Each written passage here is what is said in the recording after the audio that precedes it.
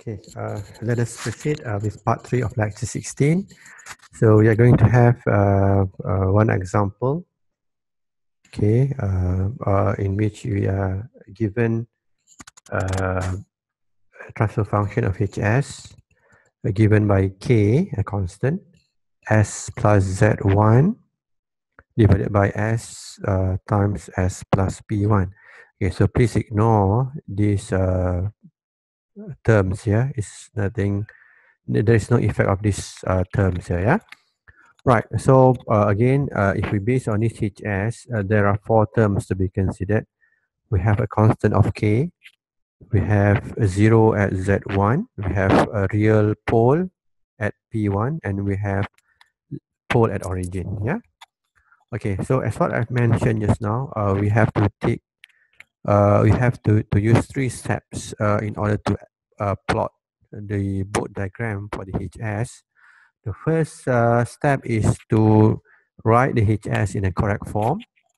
Okay, so what I did here is I uh, this is first step now, where we have the K, we have to take out the Z1. So we have to write this as 1 plus S over Z1. So S still there, and we have to take out the P1. Yeah, so we're going to have P1, 1 plus S over P1. So end up we are going to have a new constant which is k of z1 divided by p1. Okay, and the rest will follows 1 plus s over z1, s and 1 plus s over p1. Okay, this is the first step, uh, which is to write the hs of hj omega in a correct form. Yeah. Okay.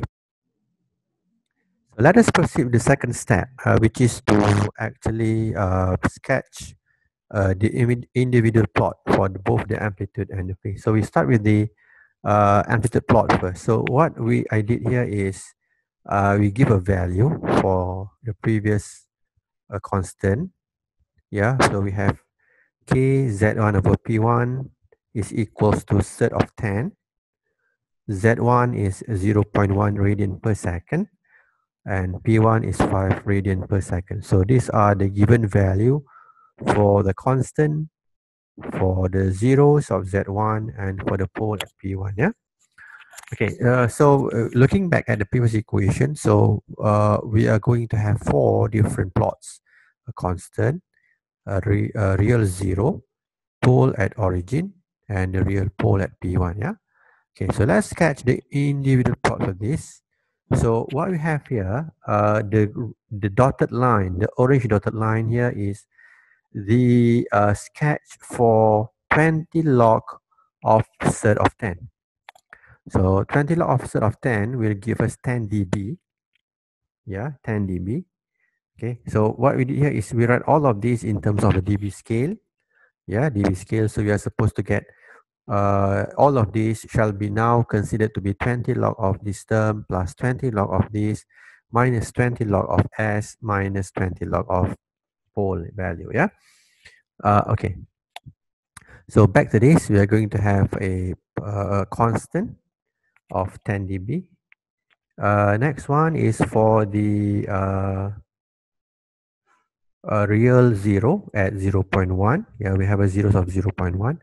So as what we have uh, learned in the previous slides, yeah, for 0 0.1, uh, for a frequency lower than 0 0.1, the amplitude is 0 dB. And for higher frequency, we are going to have a slope of positive 20 dB per decade. Yeah, so we're going to have 0 dB. And for higher frequencies value, is bigger than 0 0.1, there should be a slope of positive 20 dB per decade. Okay. Uh, okay, so the pink dotted lines here is uh, a plot for real zero okay plot for real zero. Uh the third one is the plot for pole at origin. Yeah pole at origin. So for the point origin as what we have learned in the previous slide there should be a slope of negative 20 dB per decade and the slope need to pass through the frequency of 1 so the blue dotted line here is the plot for real sorry for the pole at the origin passing through the frequency of 1 here. Okay, and because there is two decades here, yeah, uh, 0.01 to 1 frequency, there are two decades. So that to maintain the slope of negative 20 dB per decade, the blue dotted line need to pass through 40 dB such that the slope of this line will be negative 20 dB per decade. Yeah, because uh, this is 40 dB, the uh, decade is 2, so 40 divided by 2 will be negative 20 dB per decade. Okay, so the blue dotted line is a, a pole, a plot for the pole at origin. And finally is for the plot of real pole at 5. So for the real pole at 5, we are going to have 0 dB up to 5 and uh, after that, for a bigger value of frequencies, bigger than 5, we are going to have a slope of negative 20 dB per decade.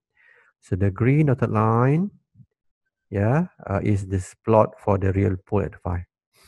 Okay, so all of these are based on the individual plot that we have learned from the previous slides, yeah? So our task now is to actually combine them. So what should be the pattern of your amplitude plot? So to get the amplitude plot for this, okay, so you have to start from uh, omega equal to 0 0.01. So looking at this, we can see that there is a slope here of negative 20 dB per decade, uh, starts at 40 dB. But looking at this, there is a constant of 10 dB.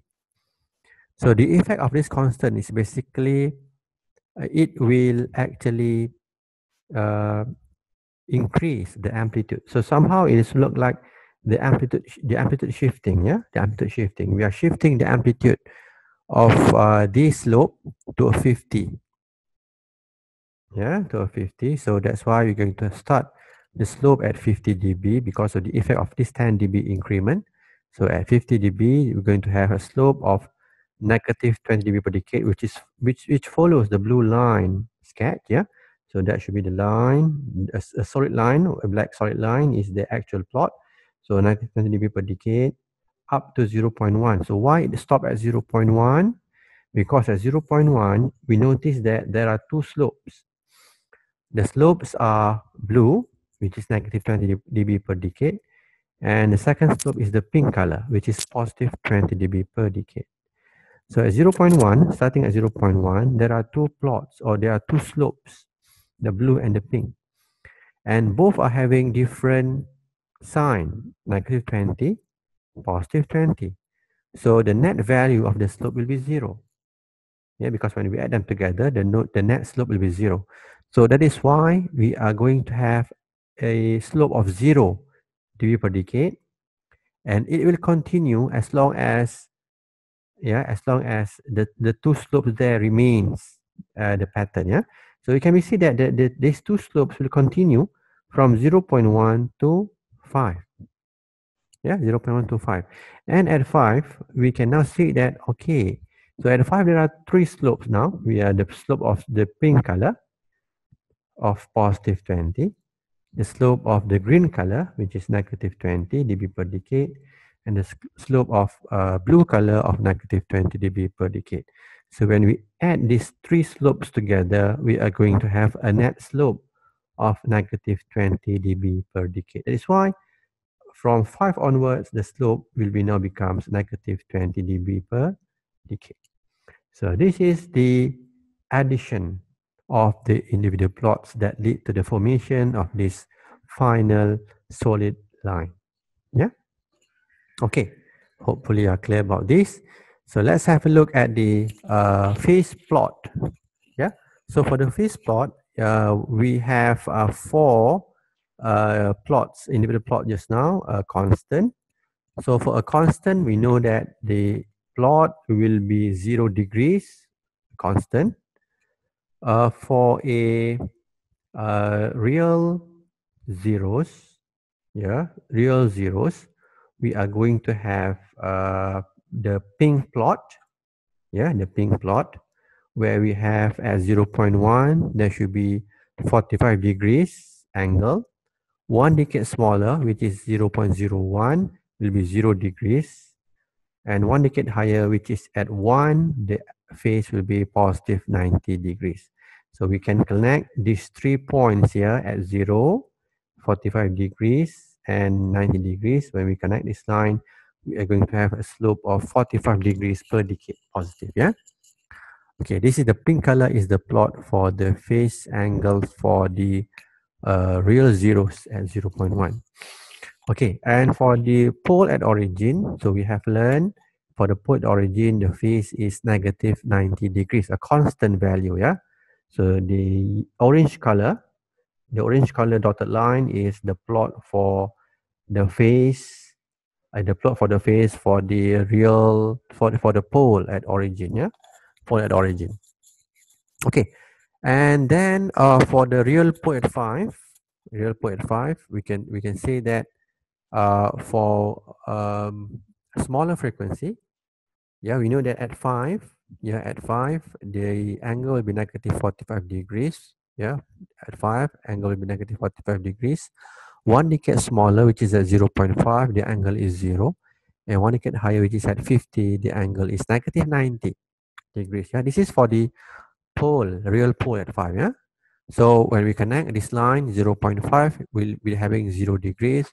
5 will be having 45 degrees, negative 45 degrees and 50 will be negative 90 degrees.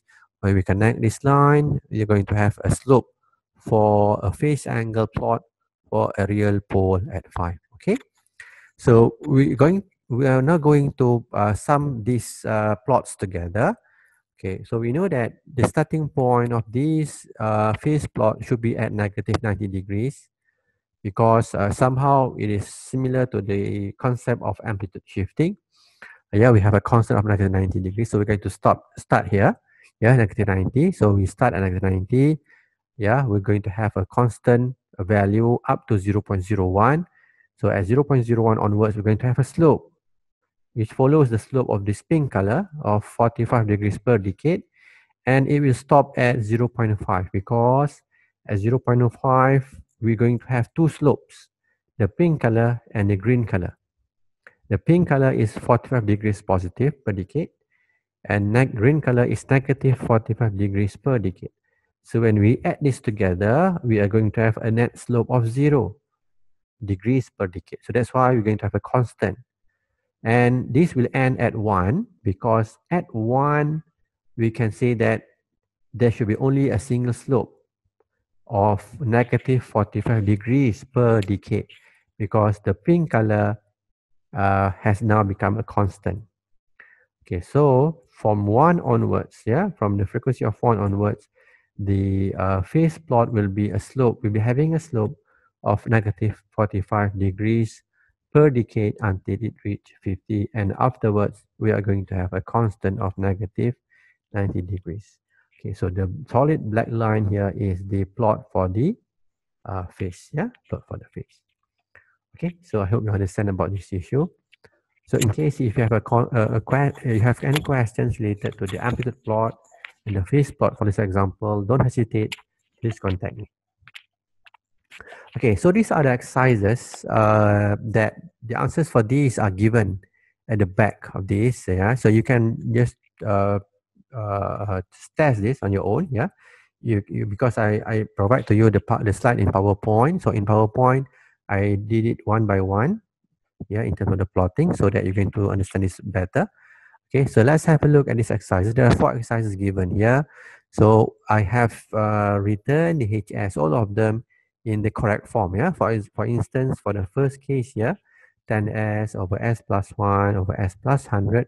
So what I did is that I have uh, 10s and I take out 100.